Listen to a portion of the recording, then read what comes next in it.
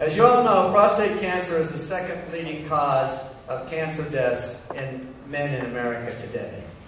What some of you may not realize is uh, that there are less than 100 prostate cancer specialists in the whole United States. And we're lucky enough to have one right in our backyard at Marina Del Rey with Dr. Mark Scholz. Dr. Mark Scholz was born and raised in Southern California. He went to college at local universities and finished his medical schooling at USC. He's the principal investigator in clinical trials involving atrasentan, two trials with ipilimumab, two trials with abiraterone, oral MDV 3100, modified citraspectin, Taxotere versus mitoxantrone, and more recently, Provenge. He's also been interviewed on several TV talk, show, uh, talk shows, including U.S. News and World Report, News Talk, Health Talk, and Breakfast News. Dr. Scholz is the medical director of Prostate Oncologist Specialists, a group practice in Marina Del Rey. He is also co-founder of the Prostate Cancer Research Institute, better known as PCRI, and co-sponsors the annual National Prostate Cancer Conference. Undisputedly the best prostate cancer conference in the nation with the best of the best doctors attending and making presentations. Dr. Scholz is also co-author of the newly published book entitled Invasion of the Prostate Snatchers. No more unnecessary biopsies, radical treatment, or loss of sexual potency. Now, I noticed when he came in tonight, I sent him an email and I said, please bring some books with you because I'm sure some people out there would like to purchase them. You didn't bring books, did you? Oh well, you know, he's got a lot on his mind. He's treating a lot of patients up there, fighting the traffic to get here for your pleasure tonight, so we'll excuse him. But if you want to rent one of these books, you can rent them outside for $20, and then if, when you bring the book back, we'll give you your $20 back. We buy them from Dr. Scholz. He actually, I'm not supposed to say this, he donated a few of them for our, our use. But anyway, uh, you can rent them here, or I can get you information later, or contact Dr. Scholz's office on how to buy them directly from his office. I would like to let you know about his credits for scientific papers and major speeches he's given. However, I'd be reading here for an awful long time. So I'd just like to show you a little list of these papers and major speeches. Now. I'll pick that up in a minute. Tonight, Dr. Scholz will present the latest information on dealing with advanced prostate cancer and treating recurrent disease. He will describe effective chemotherapy combinations for the advanced disease, in addition to the promising new investigational agents available in clinical trials.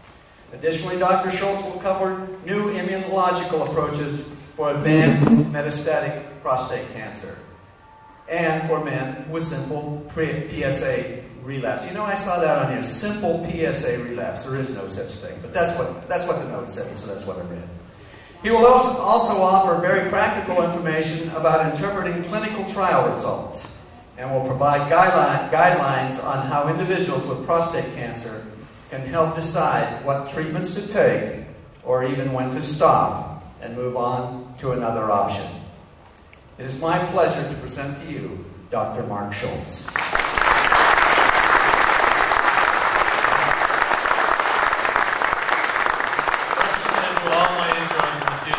I'm going to take him with me on the road. Thank you. Incidentally, uh, can I have a list, list background? Yeah. Incidentally, this thing didn't unroll all the way. It only unrolled halfway. I got a lot more to show you yet. More for next time. Thanks. Thanks, Chris. That was great. All right. Well, he practically gave the whole talk already, so we're. Uh, we're going to, well, we'll just jump right into this. Uh, the book that he showed you is for men that have uh, newly diagnosed prostate cancer. And the, uh, the thing that motivated me to get into that, apart from my uh, patient Ralph Blum grabbing me in the hall one day and, and running that ridiculous name by me to see if I would participate in this project, uh, I, uh, I was motivated a lot by concerns about patients that are already diagnosed and who have friends who get diagnosed and then go rushing into treatment. And so many of my patients have been chagrined and, and concerned about how, um, how treatment gets rushed along. And so the book, the theme of the book is really sort of a, go slow, think it through, and look at all the options type of a book. And so it's really in many ways written for men that already have prostate cancer that are concerned about other people that are newly diagnosed. I wanted to put a tool in uh, your guys' hands that you felt you could give to someone to help them slow down. my patients so often, every week someone would come in complaining that a friend of theirs had been diagnosed and they rushed immediately into treatment and the uh, and there was despite all their you know counsel and encouragement to wait and to get several opinions. So that's what the book is about.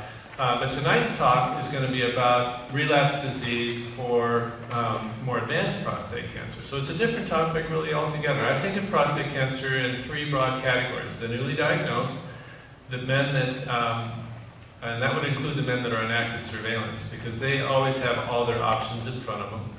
The second category is the men that have a rising PSA after treatment, the relapse people. And then the third category, the people that have hormone resistant or metastatic disease. So we'll cover the latter two categories. And there's no way you can do an exhaustive talk, it's such a big field, but we're going to hit the high points. And I'm going to emphasize uh, the most effective treatments and treatments that are available now. Sometimes if you have people talking to you about uh, the new things in prostate cancer, you'll hear about stuff that's coming or around the corner. But uh, everything that we talk about tonight is available to prostate cancer patients right now. So we'll just jump right into it with that. And I've already sort of pointed this out, that we're going to be talking about this latter group of people with the advanced uh, stages, not the, uh, not the clinically localized.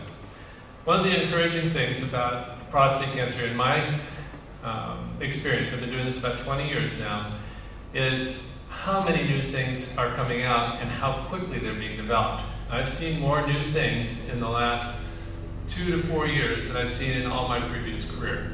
And I expect that that accelerated approval of new treatments is going to continue. And it's exciting because these new treatments are less toxic, more effective, and because they're less toxic, it creates opportunity for us to use them in combination. So combinations of treatment are going to be more effective. What's limited us in the past is the treatments are often too toxic to give combinations. So, but when you can start combining multiple effective treatments, you're going to get much better results. Just an example of how slow things have been in the FDA-approved treatments for prostate cancer, we had one in the 1980s and one in the 1990s and then, of course, in the 2000s, we had Taxotere come along. And then just this year, uh, we had um, the approval of Provenge, which we'll talk about. And we expect to have abiraterone, another new pill, a more potent um, hormone-type pill, excuse me, will uh, be approved in the next few months as well. And I should also, uh, I suppose, announce that uh, the Johnson & Johnson that bought abiraterone, I think of abiraterone sort of like a um, non-toxic type of ketoconazole. How many in the room have heard of a medicine called ketoconazole? That's pretty good. Ketoconazole is an FDA-approved antibiotic. It's probably the most potent and effective hormone treatment if Lupron and Casodex stop working. People in the room that don't know what Lupron and Casodex is, raise your hand. Okay, so we got a couple. Um, Lupron and Casodex are the most common hormone treatments uh, that are used to treat uh, prostate cancer. And they're very, very effective, and they usually continue to be effective for a number of years. If they stop working, however, there are other treatments. Ketoconazole has been a popular backup plan. And uh, the, I think that abiraterone, this new pill that Johnson & Johnson will probably get approved in the next few months, will supplant ketoconazole because it has a lot less side effects and it works just as well or perhaps better than ketoconazole does. So that's an exciting breakthrough. Uh, the Johnson & Johnson that approved the um, that will get this medicine approved in the next few months has kindly um, is going to release the medicine in the next couple of weeks on a compassionate use basis for uh, men that are that have had previous chemotherapy, and we'll talk about what that means in a minute. And so, if um, if people have had Taxotere that has stopped working, uh, Johnson Johnson will put you on this trial, will allow you to get the medicine free of charge. So anyone that has had Taxotere here and it's not working for them any longer, they might want to call. Our office will be the first office to have access to this medicine. There will be other offices, probably USC and UCLA will be opening up in the next few months, but we'll be having it probably within about two weeks. So you can call us if you're in that circumstance. So I'm not going to say too much more about abiraterone. I'm going to go on now and talk about the most common chemotherapy used to treat prostate cancer. Chemotherapy is just the name of a medicine to kill cancer. Uh, it has a, a, kind of a nasty overtone, just like radiation, uh, which has gotten a lot better. Chemotherapy treatments have gotten a lot better and more effective. And I want to talk about a little bit about Taxotere because it's um, and there's a lot of things that are misunderstood about it. And there's many things that are misunderstood about the way the FDA approves new medicines. Um, and that has to do with the fact that uh, the FDA demands that pharmaceutical companies compare a new medicine with a standard old medicine to see if one group of people lives longer than the others. The only way they'll approve a new medicine is if you can show a group of patients that will have longer survival than patients who have uh, received a standard or an alternative treatment. So Taxotere got FDA approved because it was a, uh, compared to a medicine called mitoxantrone, uh, and they uh, had uh, well, 1,006 patients you can see here. Is there a pointer up here? Yeah. Okay. I can figure out how to use it. Yeah. So they had 1,006 patients. 335 of these got Taxotere every three weeks. Another 300 or so got Taxotere weekly. That's not on the thing. Another 300 or so got this old medicine called mitoxantrone. And then they, after they treated these different groups, they watched to see if one group lived longer than the rest, figuring that if they live longer, that means the medicine actually is uh, useful, and that the FDA will be willing to approve it. Uh, the type of patients that are in this trial, average age about 68. The average PSA was in the low hundreds, and about 90% had positive bone scans. So these are people with, with more advanced disease. And what they found, this is a survival curve. I'm going to show you a few of these tonight because you always hear about these survival curves. And the, um, this is a percentage of people still alive over time. So you can see how the, when the curves start to separate, the people on Taxotere have better survival, 27% improvement in two-year survival. So this is what led to the almost immediate FDA approval. As soon as they can show the FDA a trial like this, the FDA will approve it. And that's uh, how all the prostate cancer things are getting approved. The trouble is that the, the amount of survival difference is only a few months. And so a lot of times people look at that and they say, well, Taxotere has side effects. It can cause hair loss, it can cause tiredness, it can cause, um, sometimes it can cause you to lose the uh, taste for food, uh, and uh, there are even other side effects. And so the price of admission for a few extra months of survival seems to be, you know, maybe it's not worth it. And this debate has raged on and on because the trial is designed to look at one group of people that gets medicine A, one group that gets medicine B, and see if there's any real difference. Not a lot of difference, just any real difference is what the FDA requires. It isn't really, however, showing what these medicines can do. It's only meeting the, bands that the FDA is asking for. So the FDA is kind of asking like for a horse race. They want to see the new medicine gets to the finish line earlier than the, um, the older type of treatment. So if someone has a um, advanced form of prostate cancer with, you can see the spots of cancer throughout the bones, this is a bone scan. And then after treatment, all the spots go away and the person goes into a complete remission, this would not convince the FDA to approve a new medicine. That, that's not good enough for the FDA. So this is meaningless to the FDA. You can only do a trial like I described if you want to get FDA approval. So what about this four month thing? What does that really mean? Well, the, um, determination of who's going to benefit from something like Taxotere can usually be elucidated in a couple months after starting the treatment by a good old-fashioned methodology called a drop-in PSA. PSA in these patients was about 100. It's usually going to start dropping after a few months if the medicine's working.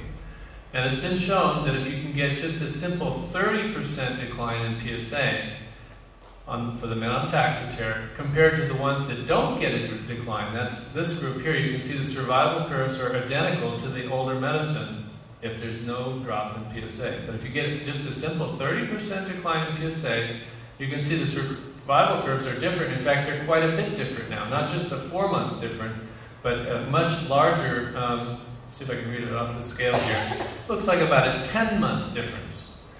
So what happens, that little four-month thing that they keep quoting includes all the people that were on Taxotere but never got any benefit from it. Their PSA never went down. So it waters down the benefit when you compare it with the, the uh, patients who do have at least the decline. So in an oncologist's everyday office, we don't just keep treating people if it's not working.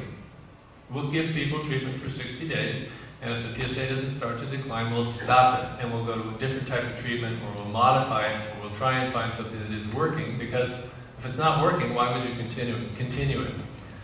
So this idea of when you go into Taxotere that you're only going to get four months of additional life is, is not a, a real accurate representation of what these medicines can do. Now here's an example of, in the 700 patients that had Taxotere, I remember there were some that got weekly and some got every three week. 115 of them had their PSAs drop all the way down to less than four. Remember the average starting PSA was 120 or something like that. So in these 115 patients, the average improvement, see how the survival curves now. These are the people that didn't have any drop in PSA. And these are the 115 patients that had their PSA drop to less than 4. The average survival difference there is 20 months. So it sounds like a much more valuable thing. So it seems to conclude, well, the average change in survival is only 4 months, so I'm not going to bother with this medicine.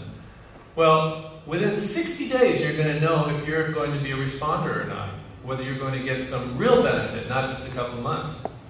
So it's, it's really pretty laughable that people go around saying tax Taxotere only buys you four months. It's like, uh, you know, when you go into a math class and say, well, the average for this math class is a C, so I can't get more than a C. So I'm, you know, I'm just not going to go to that math class. I'll get a C. Because everyone, the average is a C in that class. Well, how do you know you're average?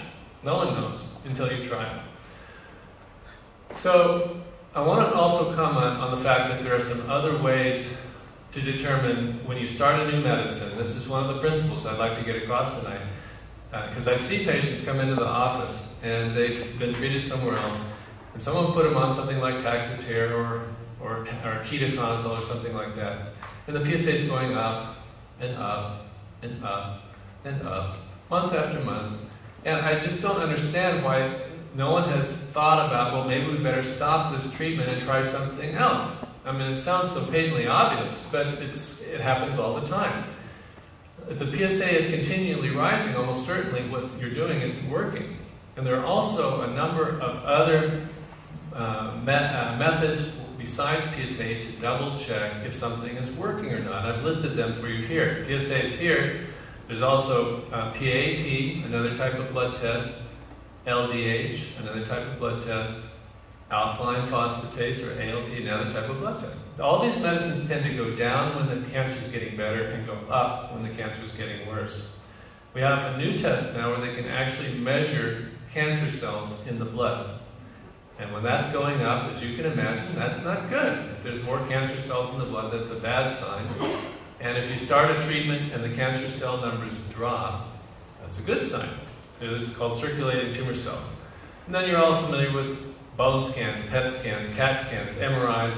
Um, those things will improve. I showed you how one scan improved a minute ago. Obviously, those things are a good sign in an individual, even though the FDA isn't using that uh, in the day-to-day -day practice. It's very important. Uh, there's some other uh, blood tests, for, especially for a type of cancer called small cell, CEA, NSE, CGA, and those should be checked periodically. And then, of course, if people have any sore spots, usually the earliest sign that a treatment is helping is that the pain goes away. They usually will start to improve just within 10 to 14 days, long before you even see changes in blood test results. So these are all part of the big picture rather than just looking only at PSA and trying to determine what is working and what isn't.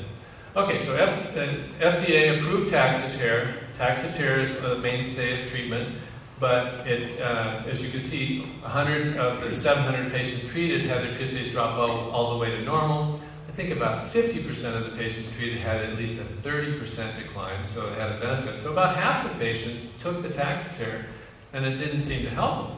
So what are we going to do about those people? Or what do we do about the people who are on the Taxotere and it's working for a period of time and then it stops working? Well, the natural thing to consider is adding something to the Taxotere to try and restore its activity. There have been a number of trials done, and I'm just going to show a couple of medicines to you real quickly that are frequently used in conjunction with Taxotere to get better results. And the um, uh, in this uh, particular study, you, uh, you can, there's four studies right here that I've listed for you, uh, and these are medicines that have platinum in them, and in particular a medicine called carboplatin, another called oxaliplatin. And the um, uh, studies were done in a way uh, that, uh, in this particular study, for example, if people had had a lot of previous chemotherapy, they didn't get as good a result. So you can see the response rate was only 18%. If patients were had only one previous uh, treatment and they got treatment, add carboplatin and NSAID, in this particular trial, of 40 patients, almost everybody benefited. And here's another one where they used carboplatin and about two-thirds of the patients benefited. So this medicine, when it's added to Taxotere, is quite effective. This medicine, which is FDA approved for colon cancer, not for prostate cancer, was intriguing because these patients had a lot of previous chemo, but two-thirds of them also benefited. So you can restore the activity of Taxotere by adding carboplatin, which is uh, um, you know, available, it's FDA approved, and uh, can be uh, used in conjunction with Taxotere. There's another medicine that's used to treat breast cancer called Xeloda. This is a pill, and in some trials, 30 patients in this trial, 77 in this one, and 50 patients in this trial, these patients had much higher response rates, you can see, that I mentioned, that you get about a 50-50 response rate with Taxotere alone. And in two of the three trials, you can see that the response rates were substantially higher than that. So this is another medicine that we found useful in adding the Taxotere to try and get better results than just Taxotere alone. The, there's some other medicines. If, how many of you in the room have heard of something called angiogenesis? Okay, angiogenesis is about half. Angiogenesis means that uh, basically the tumors can't grow unless they get blood supply and they can't grow bigger unless the blood su supply is increased. New blood vessels have to form. And so intelligent researchers came up with the idea of instead of attacking the cancer cells, let's attack the blood vessels so that they can't get the feeding that they need. So a couple of common angiogenesis inhibitors, one called thalidomide, another called Avastin, have shown activity uh, with uh, Taxotere. For example, in this particular study, they 75 men volunteered to either get Taxotere alone, 25 of them, or Taxotere plus thalidomide, which is a pill that has some angiogenesis properties. And what they found is that when the Taxotere was added to the uh, when thalidomide was added to the Taxotere, the 18-month survival jumped up significantly, and the percentage of patients with a drop in PSA um, was also augmented as well. So this thalidomide improved the results with Taxotere. Avastin is, uh, is FDA approved for colon cancer, but available for prostate cancers here uh, in Southern California. This is a, um, a medicine that was, uh, uh I probably should, can't go into how it was created, it's very complex, but uh, this was studied in one trial of 60 men who were given not only uh, Taxotere and thalidomide, but also this new medicine Avastin, which is another angiogenesis inhibitor. And these men had a very aggressive type of prostate cancer. Their PSA was doubling on average for the 60 men every one and a half months. Okay, so that means that within 45 days, the PSA would go from 10 to 20. Another 45 days, it goes from 20 to 40. Another 45 days, it go from 40 to 80. This is really aggressive cancer. Average PSA at the time of starting was about 100.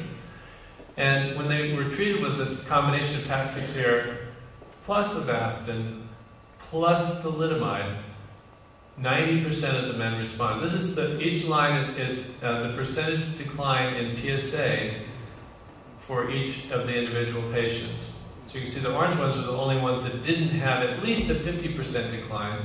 And you can see they probably, um, well, 90% of the men responded, but many of them had 80 and 90 and, and greater responses. Very, very potent combination. So the makers of Avastin then tried to um, do a trial to see if they could get specific FDA approval for, the, for this drug. And they got 1,000 patients to volunteer to take Taxotere and Avastin and compared it to Taxotere alone. Docetaxel is the same thing as uh, Taxotere, it's a trade name for it. And so, unfortunately, in this trial, they didn't include any thalidomide. And what they found was that the survival, there was a slight improvement in survival, but not much. We've looked at these, uh, a couple of these now. You can see that the lines from the Taxotere and Avastin compared to the Taxotere alone are almost on top of each other. Little improvement, but not enough to even uh, to establish that it's effective. They did show that the rate of cancer progression was slower in the patients that were on the uh, Avastin and Taxotere, but the survival was borderline. So Avastin was not able to um, achieve the status for FDA approval, but it is still, because it was FDA approved for colon cancer, we can still get it for our patients here in Southern California and use it with, usually not with um, uh, thalidomide, but a new generation called uh, Revlimid, which I'll go into in a minute. Now, before we talk about that, I want to talk about a medicine that's going to become available only in trial form here in about the next, I think in the next couple weeks, this trial will open up. This is a new medicine to try and improve the effectiveness of Taxotere. It, it's amazing what the scientists are coming up with now. The uh, Taxotere stops working uh, be, apparently because of a particular molecule in the cell called clusterin. And this clusterin somehow degrades the taxotere. So after the cancer cell has been eating the taxotere for a while and some of them have died off, it gets smart and it starts making this, this uh, protein called clusterin and the taxotere stops working. So some geniuses in the laboratory said, well, why don't we um, go after this particular thing, see if we can get rid of it using something, I'll see if I can pronounce it, antisense oligonucleotides. I'm sure that explains it for you. The, uh, what this basically means, it's almost like a Back to the Future concept. I don't know if you all saw the movie Back to the Future, you know, but in those futuristic films, someone's always going into the past to try and change the past so that they can erase someone in the future. Well, proteins are created out of RNA, and RNA is created out of DNA. So almost all the medicines throughout the history of mankind have been designed to block proteins directly, to put some kind of a thing that'll stick on the surface of the protein so it stops working. But this idea was to go back and get it at the RNA and the DNA stage so that it never gets created. And the way they do that, I think I have some cartoons that will explain that, is the, uh, uh, this is the, uh, uh a picture of RNA making a protein. So, our, uh, so proteins, the clusterin protein comes from RNA, and RNA comes from DNA. So the, if you can get rid of the RNA, you can get rid, there'll never be any clusterin. So the way they figured out how to do that is by uh, when the RNA comes off, the RNA is created from the DNA, and then it floats out into the cell where it gets the, the RNA gets turned into a protein. So what they created is this medicine called, they've called it Custirsen. And Custirsen is like the, the mirror opposite of the RNA for clusterin. And what happens is because it's the mirror opposite, is it sticks to the clusterin, the clusterin RNA, not the protein.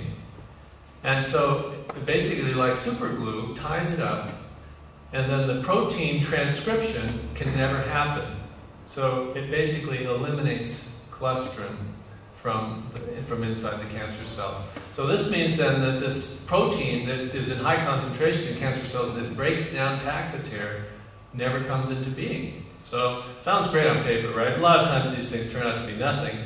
But in this case, someone has done a trial in 82 patients where they gave half the men Taxotere and the other half they gave them Taxotere plus this RNA superglue called Custirsen.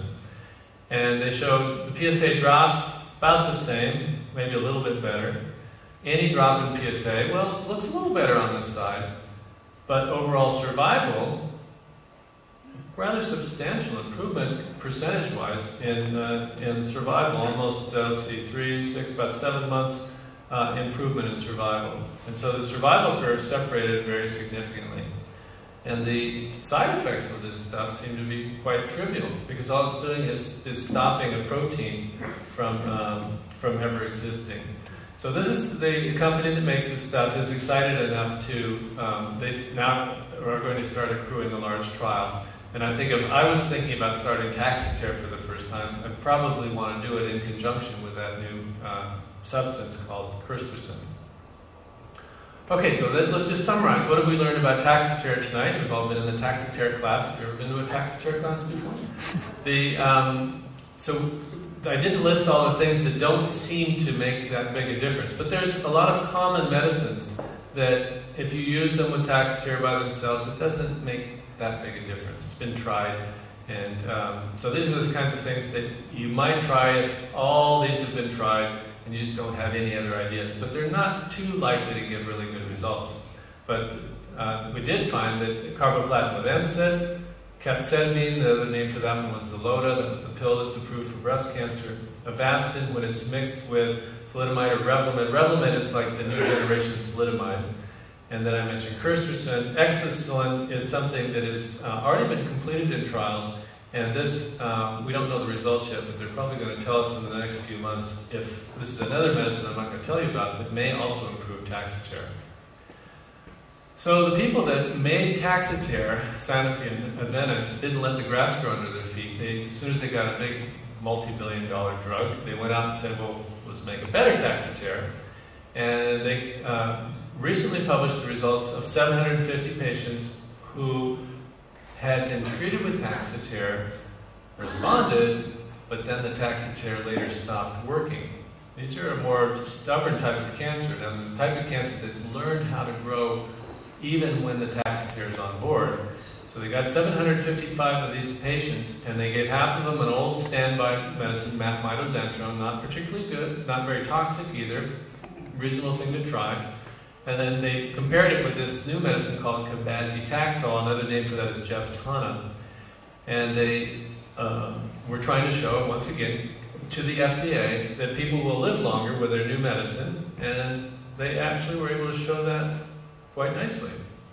And so as soon as the FDA saw this, um, I think we heard about this first maybe about four months ago, five months ago. And then this was FDA approved about two to three months ago. So we've started treating people with this new, new improved form of Taxotere.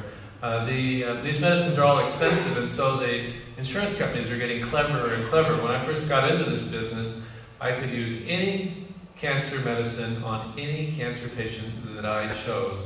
They figured, I guess, I'm a cancer expert. Maybe I know what I'm doing, but they don't believe that anymore. And so these days, uh, you know, they approve medicines for each cancer type. So sometimes it's hard to get like a breast cancer medicine and use it in a prostate cancer patient. Not because you can't write a prescription, but because no insurance company will pay for it. And now more recently, we're starting to see a situation where they're not only approving medicines for each disease type, in other words, for prostate but not breast and vice versa, now they're approving medicines for disease type and stage. So I can't give this medicine to anyone that hasn't already had Taxotere. The insurance won't pay for it. So you'd think, gosh, this is a better medicine. Why don't we, why don't we just leapfrog over and start with the good stuff? That's always been a principle in oncology. Use your good stuff first, get some results. Can't do it. No. And I think the, you know, the realities are is that these medicines are getting more and more expensive. And everyone knows the big brouhaha that we're going through politically right now with where's the money? Where'd the money go? So it's uh, so this is what we're seeing now that uh, us docs are being restricted more and more in what we're able to do. So this medicine is uh, the side effects are pretty similar to Taxotere. There was uh, some patients that had some low blood counts and some people got some diarrhea. But in the patients that we've used it, it's been very well tolerated and appears to be nice and effective. All right, so we're going to move out, uh, move out beyond now the uh, the chemotherapy stuff for prostate cancer and talk a little bit about these new immune treatments that are coming along, and which is amazing because this uh, you know really wasn't available to us even five years ago. So we've got a whole new category of medicines to consider, uh, which are almost always far less toxic than Taxotere and these types of medicines. So they have a, a, great potential for not only helping people, but doing it without impairing their quality of life. So the um, immune system, or harnessing the immune system, can be a challenging prospect because if you finally get something that's strong enough to really make the immune system go strong, you can start running into some of immune-related diseases that some of you may have heard about, like, uh, like lupus or asthma, or pneumonitis, or rheumatoid arthritis, um, or different types of blood diseases. These things are pretty scary and sometimes deadly when the immune system runs out of control. The friendly message in all this is that, thank God, the immune system is still there and strong enough to make waves. A lot of people mistakenly think that they have cancer because their immune system is weak. It has nothing to do with cancer, the immune system being weak The immune system's plenty strong to kill cancer. The trouble is the immune system is blind. It's not seeing the cancer cells. So it's just, if a cancer cell is walking down the hall here and uh, coming this way, and I start walking that way, we just walk right by each other. You know, normally you'd think I'd reach over and strangle it and kill it, but it, they just walk by and they just don't pay any attention to each other. So it's not that I'm not strong enough to take that cancer cell out, but the problem is that I'm just, for whatever reason, not seeing it or, or I see it as a friend rather than a foe. So the immune system is there for us if we can somehow get it interested in attacking the cancer cell, but we also have to keep in mind that if you rev up the immune system too much, you might actually create some problems. So the um, obviously we have to oversimplify this because the immune system is such a complex thing, and I think that we, we can get a couple good concepts across to you tonight. If you think about the uh, what we call the T cells in the immune system, these are the the, uh, you know, the, the, tank or the army of the, of the immune system that goes out and, and kills cancer cells or may kill viruses or whatever. So getting it pointed at the right thing is a very important uh, issue, but what is it that we're pointing? And what we're really trying to rev up are the T cells. They, they're called T cells because they come originally from our thymus, a small gland in our chest. And, and then these cells, they go out and they, um, they latch on to tumor cells these are natural killer cells here, type of T cell. And they, um, and they basically kill the cancer cells directly, when they're working properly, that is. So there's a kind of a recognition process that's necessary that gets messed up the, in when people's immune systems don't work properly. When they do work properly, there's sort of a surface uh, irregularity on the cancer cells that our own immune cells are smart enough to recognize. And people have used the example of a, of a key fitting into a lock, that there's a certain unique configuration on the surface of these cancer cells that gets recognized by our immune cells. And then once they recognize it and swing into action, they're plenty powerful to kill the cancer cells. So those, that recognition happens through a, another cell called an APC, antigen-presenting cell, or it may be for something called dendritic cells. Uh, these are the cells, that they're like the brains of the system. They go out and, and find these cancer cells. They nibble off recognition parts of the cancer cells, and then they talk to the T cells, the ones that go out and do the dirty work, and tell them the type of cells to attack. So the whole process starts with these antigen presenting cells. So you can think of then the antigen presenting cells are both the bloodhounds that go out and sniff out the cancer, and then they're like the cheerleaders to the T cells saying, go get them T cells, right? so they fulfill two roles in this regard. Now, one of the biggest discoveries I think that we've seen in the last 10 to 15 years about how um, prostate cancer is, is getting out of control and why the immune system isn't doing what it should. is, is the discovery that there's a whole side to the immune system to keep our immune systems in check. You saw those pictures of those unfortunate people with those immune problems. By the way, I, picked, I didn't pick the worst pictures. I mean, you can get worse than that. And so, what happens uh, to keep that from happening, that the reason we don't all have our immune systems gobbling us up, is some regulatory cells, another form of T cell, but these are called Tregs, T regulatory cells. And these cells go around, and if they see our immune system getting too excited, they go around, calm down, calm down, stop it, don't do that anymore. So they're sort of like the, the, the police of the immune system. Now, this, and this was not really recognized. You know, for years, I'm sure you heard, you know, they tried this vaccine, they tried that immune treatment, and it really never got off the ground. For 30 years, we knew how to stimulate the immune system to you know, take care of viruses, you know, but for some reason the idea of stimulating the immune system for cancers just wasn't getting traction. And now we know that the reason this is is those Treg cells have been taken over to the dark side, so to speak. Quisling is the guy that sold out Norway to Hitler. You know, when he when he saw that uh, Hitler was going to be taking things over, he, he just basically grabbed Norway and said, "We're for Hitler." and they, they made him president for that. And of course, afterwards they shot him. But it was uh, during the um, during the you know he the, his name is synonymous with traitor, and and this is what is happening. The Treg cells are actually selling out to the cancer cells. We're not entirely sure of what this process is, but we've seen that T, the Treg cells, you know, police and suppress the immune system they have shown over and over in cancer cell patients that they, cancer patients have more of these Treg cells than normal people. That there's, they're, they're increased in amount to, to suppress our immune systems.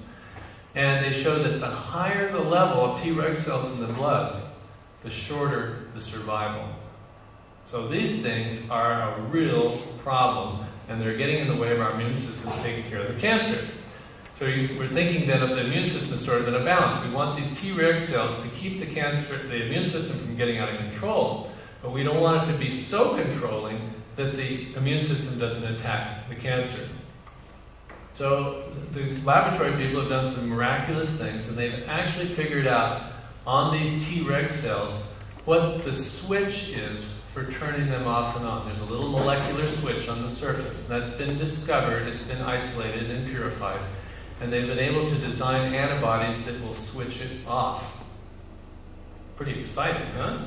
So there's a way now with these medicines that they can actually take the Tregs out, get rid of the Tregs, these, these problem uh, cells that have been getting in the way.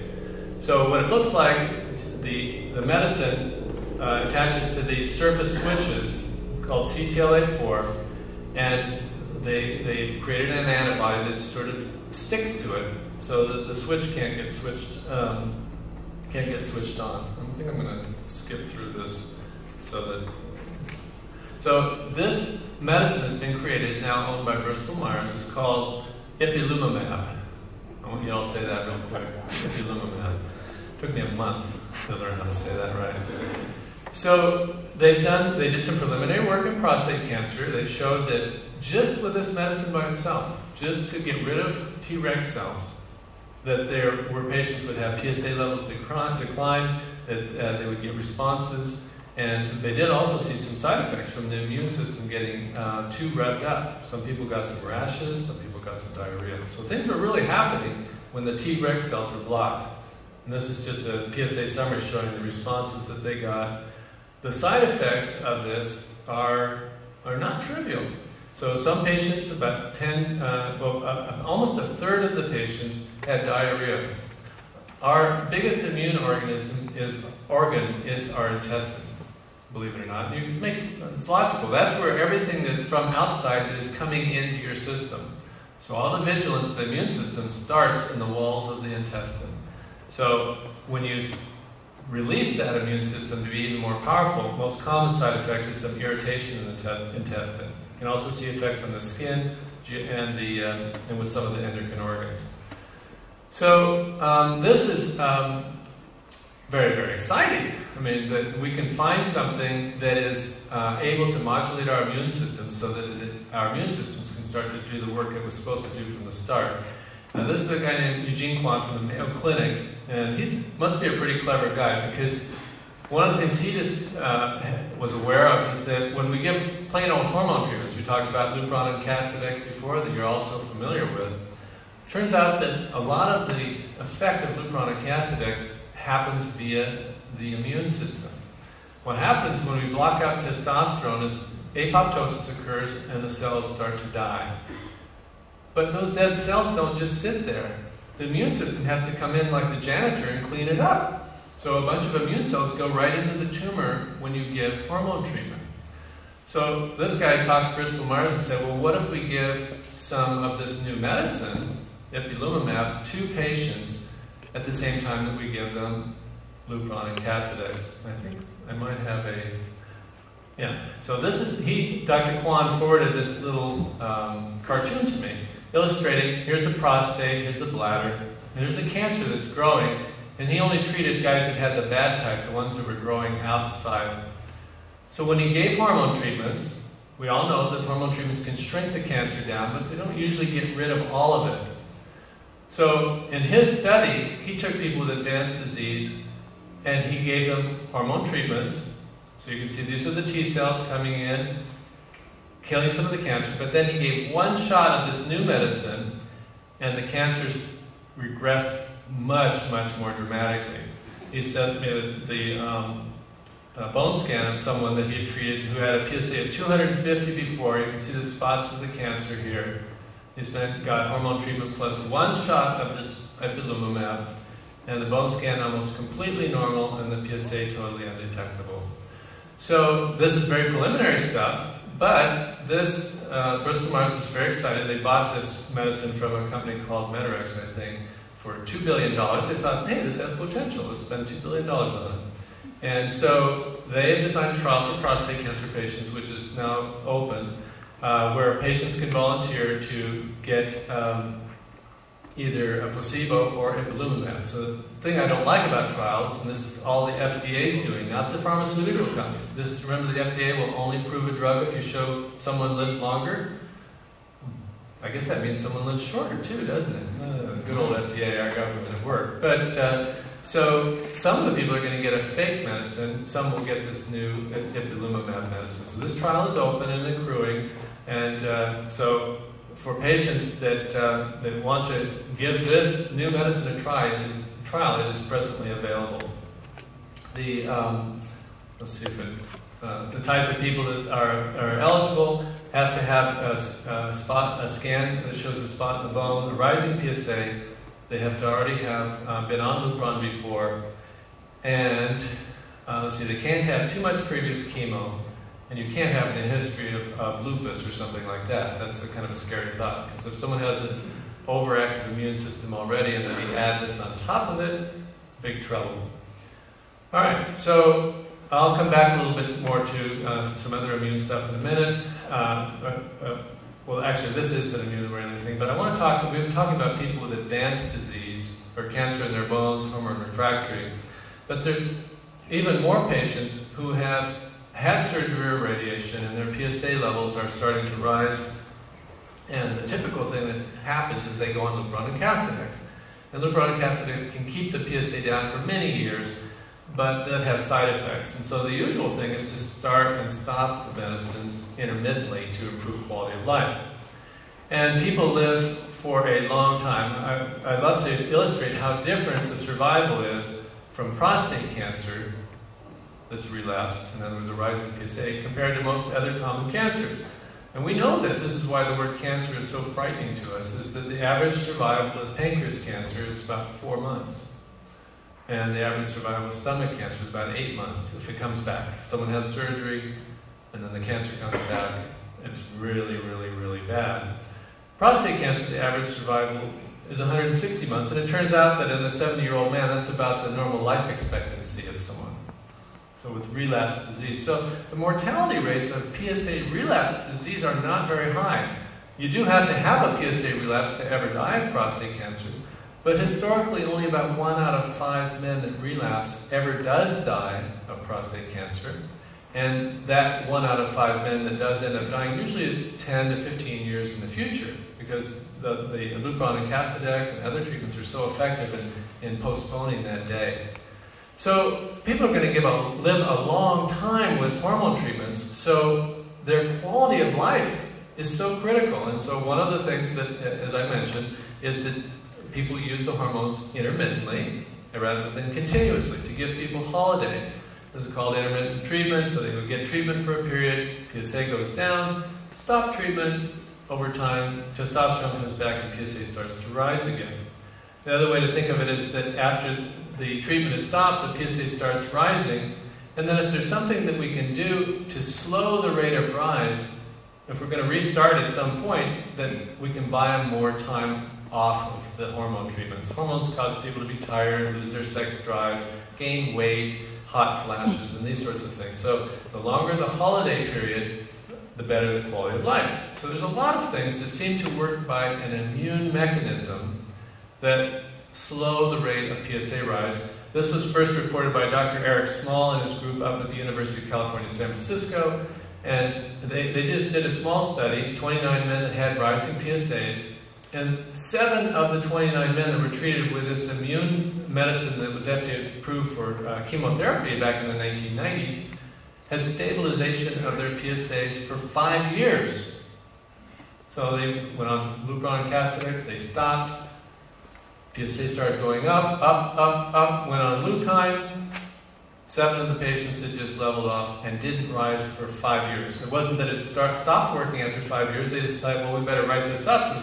we don't know if it'll ever start rising. So not everybody, but a certain number of the patients had very, very durable responses. Now, since that has very few, if any, side effects, it's very logical to think, well, if that stimulates the immune system and helps 7 of 29 men, what about other things that might stimulate the immune system? And so there's a medicine that's been around for many years, so long ago that they named it the era where patients didn't know the name of things. So that's why they could get away with a name like Cytoxan. You know, who would ever allow something like that to be put into your body? So the doctors knew about that, the patients would just take the pill they were told. So this was FDA approved like 35 years ago or something like that. So, but now it, they've discovered that if you give very, very small doses, that the Tregs, remember the regulatory cells that are teaming up with the cancer, and, and um, inhibiting the immune system, for some reason, this stuff is selectively poisonous to those Treg cells. And this is a fairly recent discovery. And the nice thing is that it's in such small amounts that there are really hardly any, if any, side effects. So, rather logical, well, why don't we give this that gets rid of Tregs and add it to the leukine?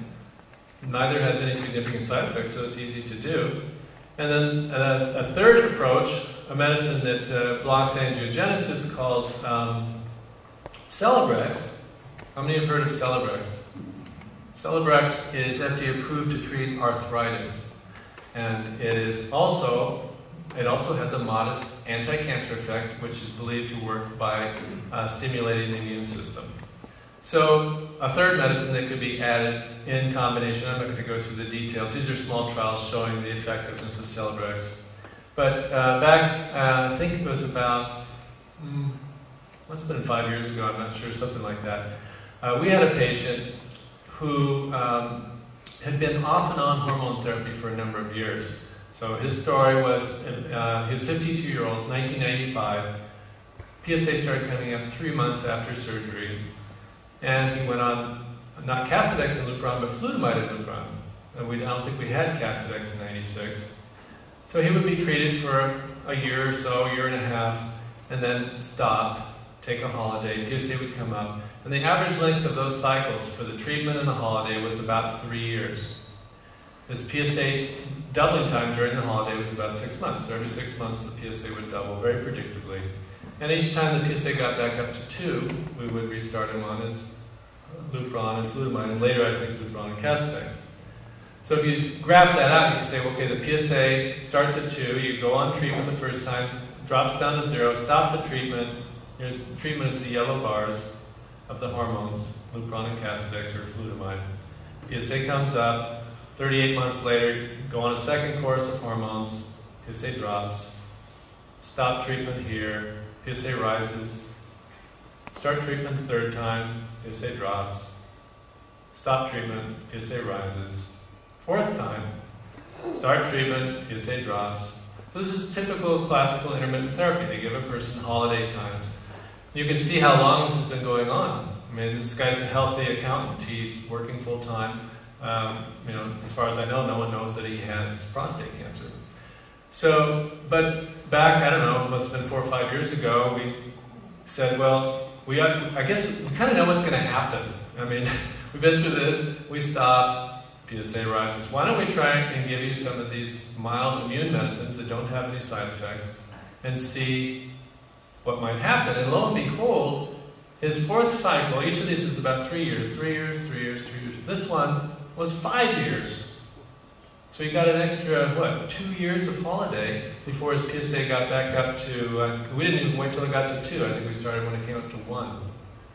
So, without hardly any side effects at all that I can recall, he, um, he was able to get a much longer holiday period through these very modest immune treatments. And so we've done this in a number of people. We reported this at the uh, annual cancer meetings this year. Uh, 24 men that had their pretty brisk doubling times. The average time their PSA would double when they stopped their Lupron was four months. We found that 14 of the 24 men had at least 100%, at least 100% increase in their doubling time. And the, I think the average doubling time in the 14 responders was, was like four months or something like that before treatment. It was like 20 months after treatment in the responders. So it, it makes a big difference. These people can take much longer holiday periods without any significant uh, side effects. Now what we're working on, you heard about thalidomide before, and um, thalidomide's been shown to be active in the same way. It works by an immune uh, process I'm going to jump through these because it's too much. Um, so, but other people have said, well, let's try and combine stuff. Leukine was one of those things that we used. And when in this particular study, 10 men were treated with uh, rising PSAs, and when it was thalidomide was combined with leukine, all 10 of the men had at least a 50 to 80 percent decline in um, in PSA. So this, the activity of this substance is exciting, except thalidomide. How many have heard of thalidomide? Yeah, the baby killer, right? Great stuff to take. Well, I don't know how they ever gave it to pregnant women because it's pretty toxic stuff. Makes makes you really groggy, causes severe constipation. So the company Celgene that makes this stuff came up with new improved thalidomide. It's called uh, Revlimid, and this is available in low doses. It turns out that it has a lot of the good properties of thalidomide with, with almost none of the bad ones. So this is something that you can take on an ongoing basis and not feel sick. And so we've been using a combination now when people are going on. We don't give them merely leukine, Celebrex, and Cytoxan, but we also add a little Revlimid. It's a pill. Um, and take one a day. And we're seeing very frequent extended stabilization of PSA in men that previously had steadily rising PSAs um, before, um, you know, when they come off their hormones. We've even started using this in some men that have never had hormones, where they have surgery or radiation, the PSA is going up, and they say, okay, the cancer is back. And that we present this option as an alternative to the hormones because the hormones have the unpleasant side effects that I talked about before. Okay, so I want to talk about the newest, the most exciting thing in the field of immune therapy. Um, medicine was FDA approved about three or four months ago.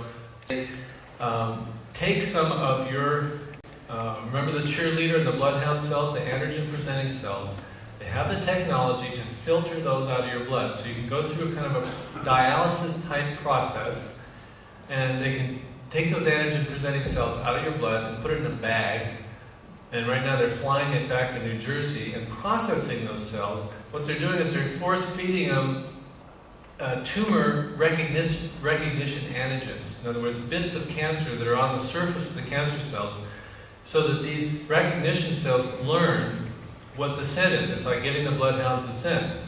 And then once that is done, uh, this, uh, this uh, tumor antigen is called, uh, it's actually half leukine to kind of juice it up and half PAP. I mentioned PAP earlier as a blood test that's sometimes used to check uh, for prostate cancer. It's a, PAP is very commonly present on the surface of, cancer, of prostate cancer cells. So they They feed that to these cells in a lab. Your cells, living in a bag, they feed these cells with this uh, PAP leukine analog. And what happens then is that they, antigen presenting cells, when they're put back into your body, they talk to the T cells and they say, This is the type of cancer cell to kill, the one that has PAP on it. And then the T cells uh, multiply and, and, spread around the body. So I don't know if the, this is going to be very clear. I have a, a video, and I, the only thing I'm concerned about, I don't know if it's going to be loud enough to hear. I may have to take my microphone off. And, but if it works, it's pretty cool. Let me see if we can make this work.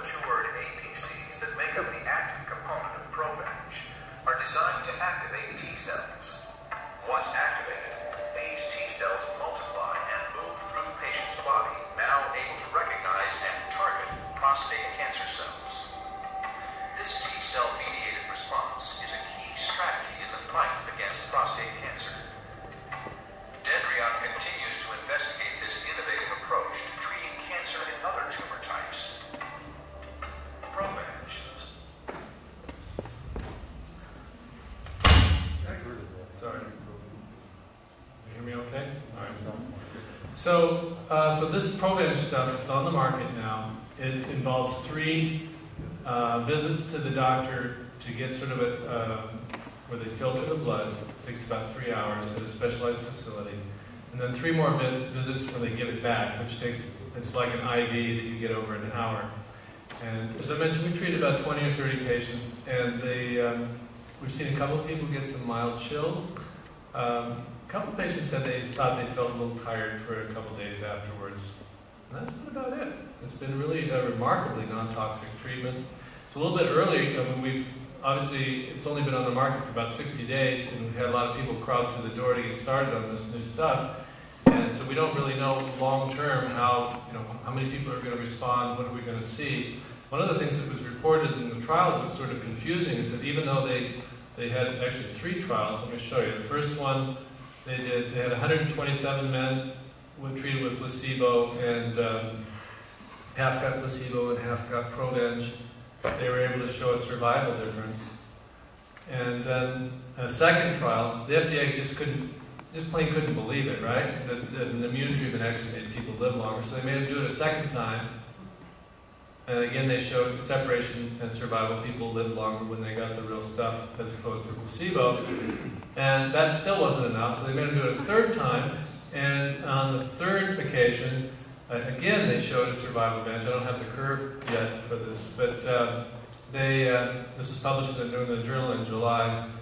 And uh, so they had three randomized prospective trials that showed a, um, an improvement in survival with this medicine that has virtually no side effects.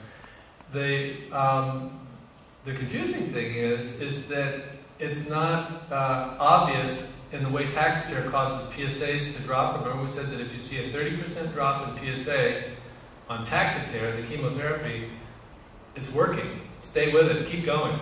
And if you don't see a 30% drop, it's not working. Now, we don't really have to make that decision in Provenge because we don't just keep giving it. You get three treatments and you're finished. So it's not like Taxotere where you keep giving it, keep giving it. Um, but what has been observed in terms of PSA declines is not that many.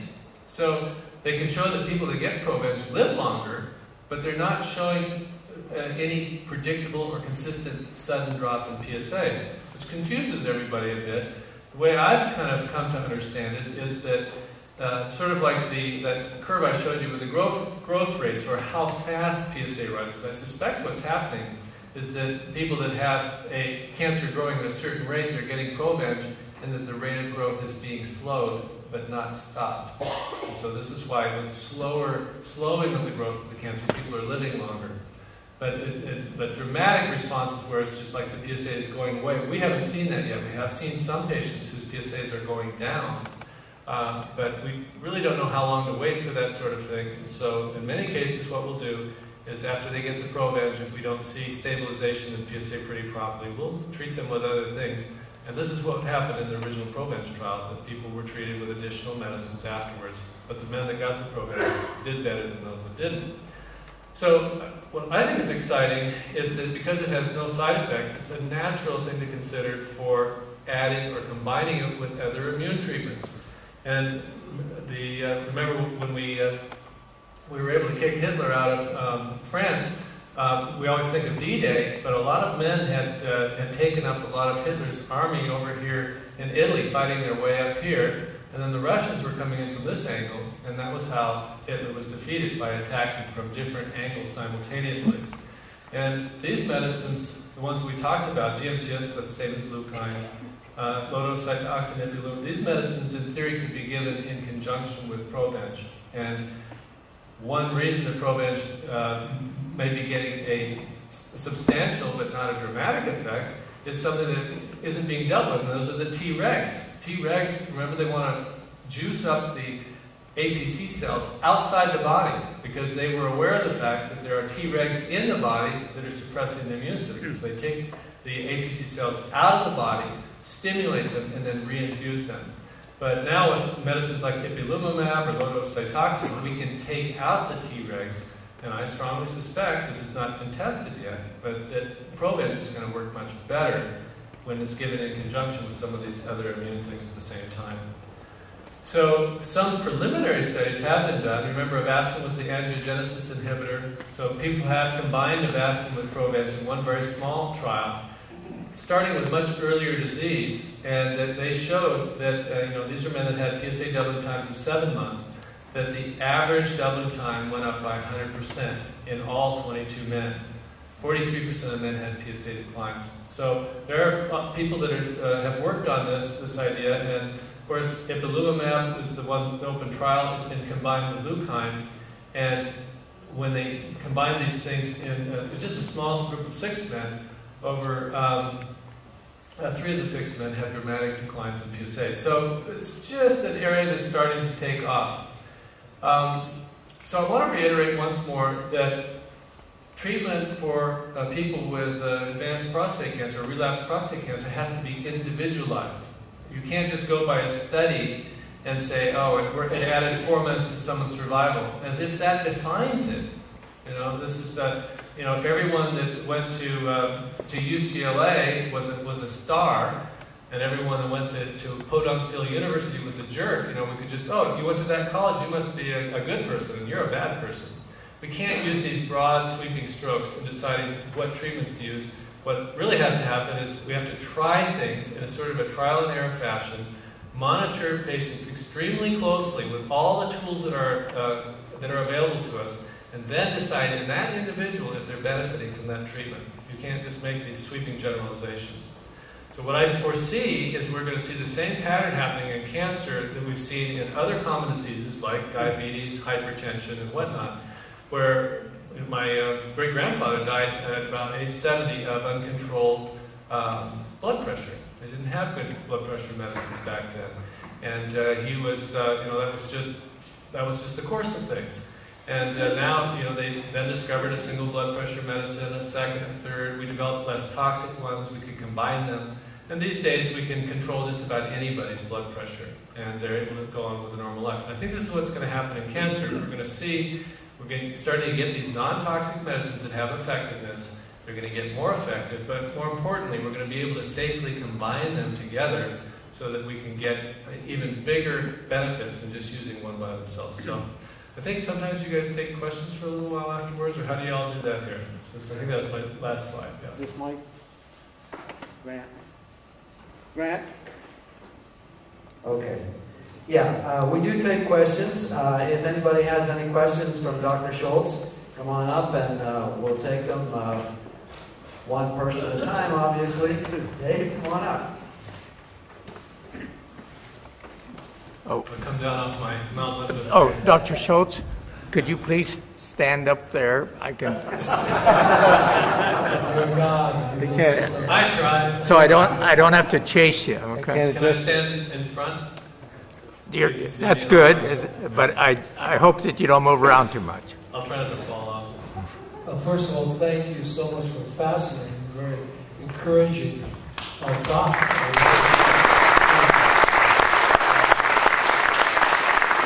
Just entertaining the possibilities. But my question is really simple, maybe uh, it doesn't apply, but when you were talking about the immune system being able to handle uh, cancer, but it's interfered with by things like the Tregs or whatever. If you're just using these, know, we're talking, you're talking mainly about intermediate and, and, and high uh, cases of prostate. Why couldn't these immune uh, uh, boosting products be used for low or medium grade? Well, it's a natural question because that's how most treatments evolve in cancer. First, they're tried in people with advanced disease, and when they're shown to be effective, people logically conclude that it'll work even better in someone whose whose disease isn't out of control. The, uh, the reason I think that that will happen, but there's uh, several things that slow it down.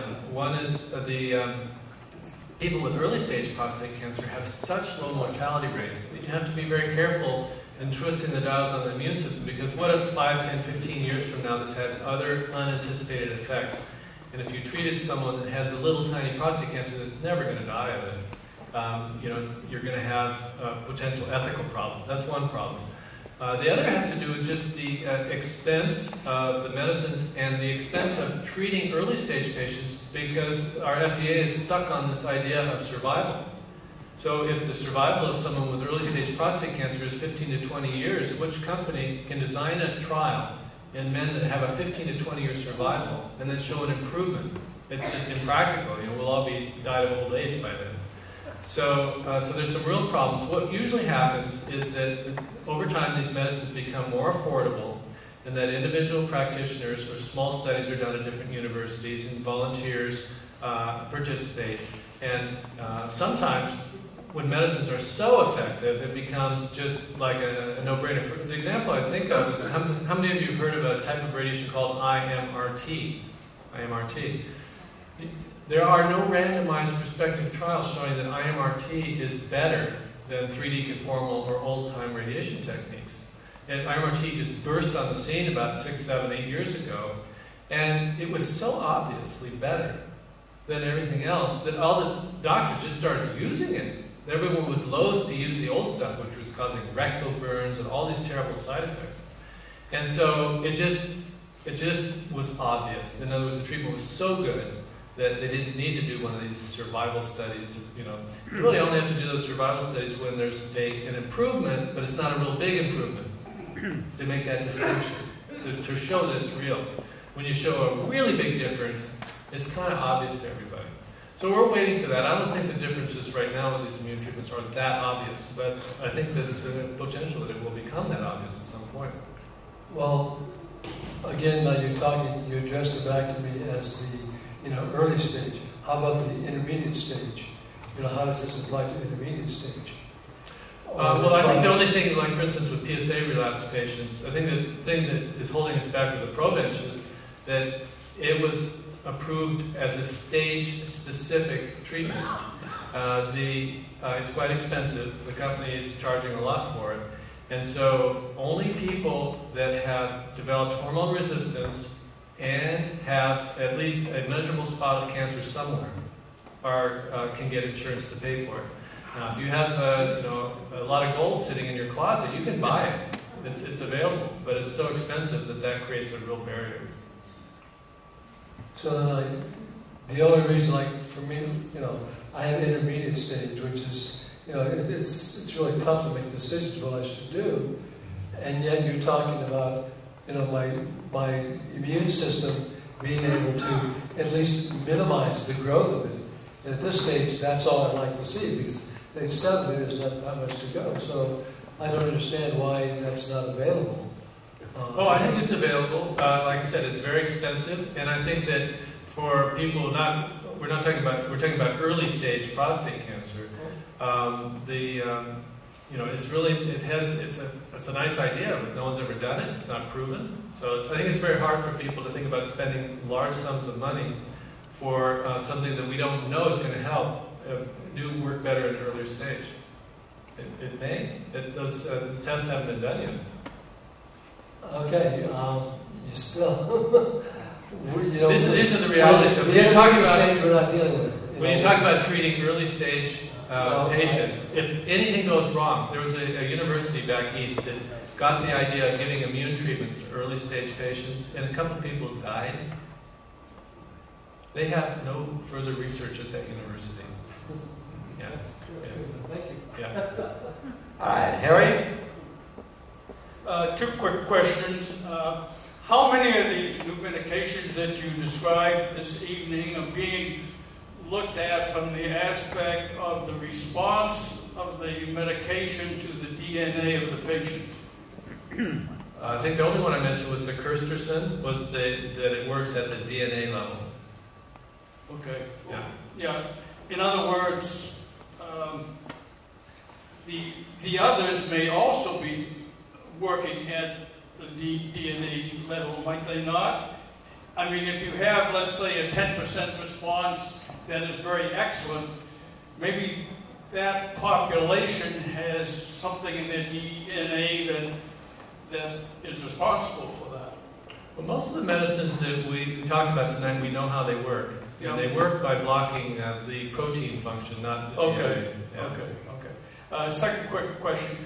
In your blood tests that you mentioned, uh, there was one blood test that you went over very quickly that defined uh, small cancer cells. I've heard of that in lung cancer, and you know they're more aggressive. Is there any such thing as small cell prostate cancer? Yes, absolutely, and it's a very serious variant. Fortunately, uh, you know, at any one time in our practice, Dr. Lam and I are managing about 1,500 men with prostate cancer, actively managing. And at this time, we don't have a single patient that has the small cell variant. Unfortunately, many times people with the small cell variant don't live very long. It's a very, very aggressive type of prostate cancer. So I would say we see a case of small cell prostate cancer maybe every other year, something like that. One case out of the 1,500. And we're a referral center, so people with difficult cases tend to come to us in the first place. So fortunately, I think it's a lot more rare than people realize. Thank you. Uh, thanks for a great talk tonight. I agree with uh, those that have complimented you on it. Seems like a, a, a, real breakthrough is kind of in the air. And that's kind of refreshing after seven, eight years of looking at this. I kind of see a, a new dawn maybe. A couple of quick questions. The, uh, uh, I think that the last, uh, the last speaker we had uh, mentioned a, an outfit on the East Coast that analyzes genetic makeup of the pros- prostate cancer cell. I can't remember the, Harry, do you remember the name of those guys? Aureon. Mhm. Do you have any comment on, on that as a prog- prognostic? Yeah, uh, uh, Aureon provides two services. One is that they analyze the cells and the Gleason and all that normal stuff. Uh, and they add a couple of uh, useful tests, one to measure an androgen receptor and the other to measure how fast the cancer cell is growing. Um, I think the most valuable service they provide is for people that aren't doing prostate cancer full time. They take all this information, they jumble it together, and they say, this is how bad it is. Okay? And the, in, you know, in my practice, we have to do this sort of analysis all day long, so having someone do my punch the buttons on the calculator for me doesn't really give me a lot of new information. Uh, the, so I personally don't find it that useful in my day-to-day practice. But I think that, you know, your doctors that are doing some prostate cancer and they're doing some, uh, you know, bladder resuspensions and they're doing uh, penis enlargement and they're doing all these other things and doing a little prostate cancer, I think it's a very helpful thing. Fair enough. Uh, I read in one of the publications about nitroglycerin being used. Is there any effectiveness there? There's one trial showing that transdermal nitroglycerin seems to slow the rate of PSA rise. The, uh, it's an intriguing thing because this is what's used for people that have angina. It doesn't really have any side effects. It sounds really exciting. Uh, in the trial, I was a little confused though. I told you in the studies that we're doing, patients typically had a, a PSA doubling time of four months or six months. You know, you could clearly see the PSA is going up, so that when you give something and it stops going up, you know something happened. The average doubling time in that study of the nitroglycerin patients uh, was like 18 months before you treated them. And it went up to 36 months after you treated them. Kind of, I don't know how to interpret that kind of information. So at some, at some point, we should try treating, we haven't done it, uh, men that have faster doubling times and see if it's effective. But that kind of discouraged me because it sounded to me like they're treating men that didn't need treatment. To show an effect in treatment when men that don't need treatment doesn't really say a lot to me. And then finally, uh, I ask you this every time you're here. Uh, any, any great stuff on the, in the future that we can look forward to? You did a great job of telling us what's here now, but those of us that like to wish and hope and pray, what, is there anything on the horizon that looks really, really promising? Well, I, I think the, the most promising thing is, uh, you know, I have to tip my hat to uh, Michael Milken and his Prostate Cancer Foundation. Uh, he's raised three or four hundred million dollars directly for research over the last 15 years, and he's made sure that the money gets channeled into really smart researchers. And what happens when, I tell you about how ipilimumab works and how quercetin works, this is the, the, the result of people doing immense amount of lab research to figure out what cancer is. And I think the most exciting thing about the future is that it's pretty much getting figured out. And now it's just a matter of, now that we know how to build bridges, now we've got to go out and build the bridges. And it's an expensive and time-consuming process because you're doing research in humans, and that has, can only be done in certain very well circumscribed ways. It's going to take time. But compared to when I first got into this business 20 years ago, the medicines that we gave were basically uh, just poisons, and we had no idea how they worked. But the way they developed things at the NCI back then is they would take, you know, like floor wax and, and, and you know, iodine, stuff like that. They'd throw it into a, a petri dish with cancer cells growing. Ah, they die. And then they would take that same substance and then they give it to an animal with cancer. And if the cancer seemed to get, you know, better, and the cancer and the animal didn't die, then they gave it to people. And no one even knew how they worked. And there was about half a dozen of these things on the market when I came into the business. And it was a, just a dark, dismal time. I got into this business on faith that there would be a better day. And I think that day is coming now. But it's, uh, so I think the exciting thing is that we understand what's going on with these cancer cells.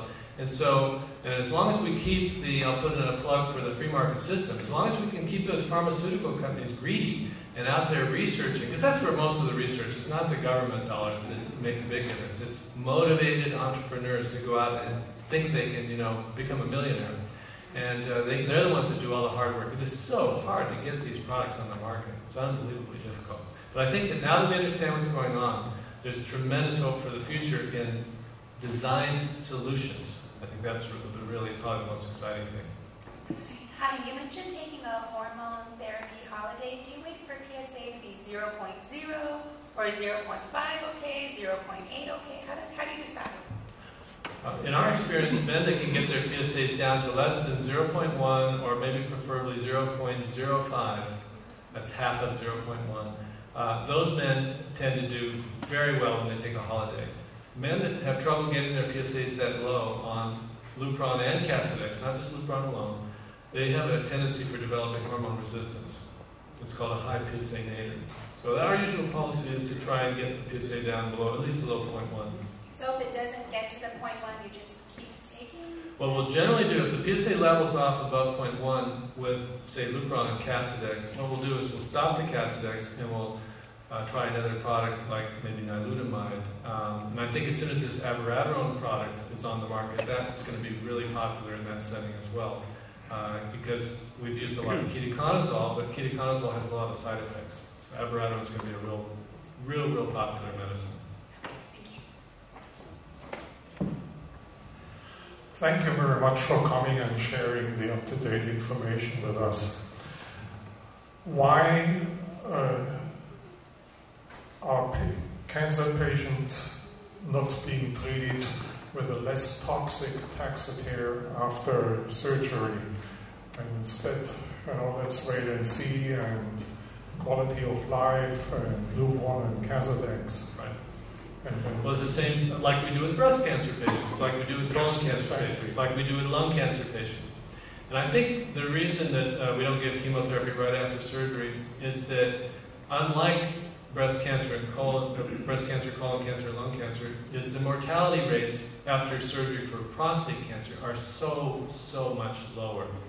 Mortality rates are so low that only a certain subselect group, people with really high Gleason scores, really high PSAs, or cancer that's proven outside the prostate, those are the men that can benefit from, say, taking Taxotere right after. And that is not uniformly offered around the country, but it is offered. Uh, if, if someone came to our practice in that setting, we would discuss that possibility. But thankfully, those type of people with a more aggressive type, more advanced type of prostate cancer aren't as common as they used to be. And so that's the good news. But for the group of men that do have a more advanced type, I think that should be offered and it, it can be done. Yeah, but at the end, it doesn't make any difference whether you have slow-growing cancer or advanced cancer. We're all in the same boat. No, it's not true. Absolutely not true. Uh, the men with low-risk prostate cancer, what's defined, you have to get my book to understand what that is. Low Gleason score, low PSA, and no big bumps when you feel the prostate. Those men have a better chance of living 10 years than men that have never been diagnosed with prostate cancer. Okay. And the reason for that is because they're in the medical system. They get their blood pressure checked, they get a colonoscopy. They, so the mortality rate for low-risk prostate cancer is lower than men that don't even have a diagnosis of prostate cancer. So to give these men chemotherapy would be ridiculous, right? Well, um, In my mind, it's ridiculous. I'm glad I'm the doctor and you're not. not ridiculous for me. But the second question is, once you're on chemo, why do you get only holidays? Why is there no intermittent or versus total chemo? Sure. Well, because as you give chemotherapy like Taxotere month after month after month after month, it wears people down. The most common side effect from long-term Taxotere is tiredness. And these gentlemen that are getting the treatment already have low testosterone levels, so they're already tired. And then you add the Taxotere on top of it, and they're doubly tired. So, and many times they're elderly people, 75 to 80, 85 year old men, sometimes they're on treatment. So you put all that together, and it's, at a certain point, there's a limit to what people can take. Well, I, I still didn't get any uh, sense of why do you why don't you stop at 10 treatments or 15 treatments? Sometimes we do. Uh, in men that are, um, I mean, the, the, typical, the question is, once you start Taxotere and you give this, uh, what's the best time to take a holiday? And in the old days, uh, um, when I was first starting out, we never took holidays. We were afraid to stop treatment. We figured if it was working, you better keep doing it. But we subsequently discovered that just like with hormone treatment, you can, after a period of time, stop the Taxotere or the other chemo and take a holiday and then restart it again, and you'll be able to recapture the uh, cancer in many cases. And so we never tell people you're going to take this for three months, six months, 12 months. We tell patients we're going to see how it works, and of course we'll see how you feel. And then it's a combination of those two things that determine how long you continue the chemotherapy. Thanks. It's called individualized care. Revolutionary thought. has to be proactive. Yes, patients have to be proactive. Uh, I just want to say something. First of all, I want you to know that Dr. Scholz is my doctor. He's been my doctor for a long time. I feel very blessed to have a doctor like him. And the other thing uh, I wanted to share is I think this was an outstanding lecture by Dr. Scholz tonight. And, uh,